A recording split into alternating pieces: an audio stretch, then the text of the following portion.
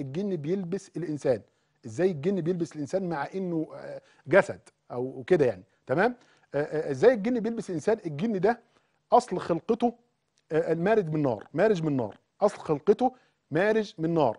فاستحال على أصل خلقته فصار هواء ثقيلا. زي البني آدم. البني آدم ده أصل خلقته طين. فاستحال على أصل خلقته فصار دما ولحما. تمام؟ تمام؟ فالجن ده مارج مارج من نار أصله هبو نار أو رماد بتاع النار اتحول من الرماد إلى من رماد النار أو هبو النار ده إلى هواء ثقيل. فبيتلبس في جسم الإنسان كأنه هواء دخل جسمك. تمام؟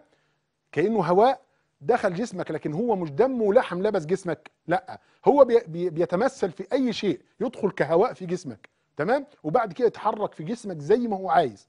يسد العروق اللي رايحة مثلا لو عايز مثلا ياثر على دراعك ده بيسد شرايين الدم اللي رايحة لدراعك. أو يضغط على العصب اللي رايح لدراعك. لو هو معمول بسحر منفوخ أو غيره بيسيطر على مداخل ال- الأكسجين للمخ. فدايما يأثر على مخ الإنسان أو دماغ الإنسان. تمام؟ فالجن بيلبس الإنسان لأنه هواء ثقيل مش مش شيء محسوس إحنا بنمسكه.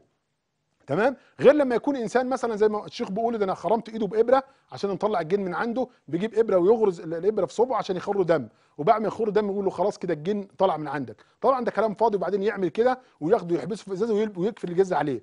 طبعا كلام فاضي زي الأخ اللي كان امبارح بيقول لي في المركز بيقول لي هو نيم زوجته وبعدين تم ياخد من ظهرها يعمل كده وبعدين بيقول له واحد هرب ودخل تحت تحت الملاية وقصة كده. تمام؟ وأنا مش عارف الناس بتصدق الكلام ده إزاي صراحة يعني يعني إيه؟